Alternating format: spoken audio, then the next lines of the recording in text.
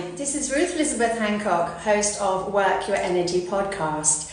If you are trying to open your pineal gland and you've been baptized or christened by the church, then you've had a cross placed over your pineal gland. This is designed to stop you from accessing the higher dimensions, higher consciousness, your higher mind, and also your innate abilities.